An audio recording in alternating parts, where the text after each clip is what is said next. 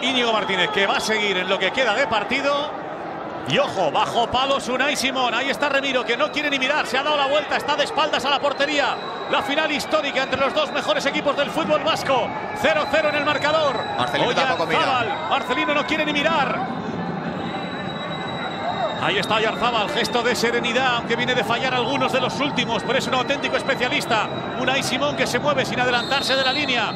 Ahí va el lanzamiento, pita el árbitro, le pega a Yarzábal, pierna izquierda.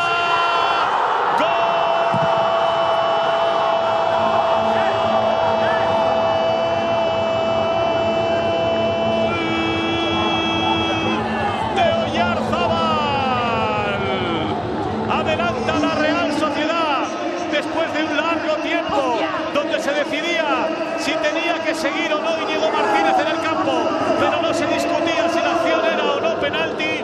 Tuvo todo ese tiempo Yarzábal para concentrarse, para pensar dónde iba a ponerla y engañando a Unai Simón, adelanta la Real en el marcador.